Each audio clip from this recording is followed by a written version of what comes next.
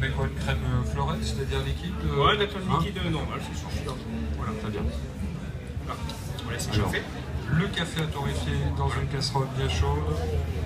Et pendant ce temps-là, Xavier, je vous présente David Donnel, qui est le peintre du Festival de Mougins, qui a d'ailleurs sa galerie à Mougins, qu'on peut applaudir. Et qui va créer pendant votre recette un tableau qui sera en rapport avec son inspiration. C'est un petit peu notre Picasso, notre Dali ici. Euh, il est formidable. Depuis l'an dernier, en tous les cas, on le voit euh, faire de belles œuvres. Merci David. c'est aussi un peu original parce que ça prend Oui. pas tout ça. C'est c'est Ah vraiment- oui, oui, oui, oui, mais c'est savez très intéressant. Mougins emmène la gastronomie, la culture, la peinture, le spectacle, la gourmandise. C'est un festival international complet. Puis on vous a. on a eu du mal à vous avoir, mais on vous a eu. C'est une première pour moi.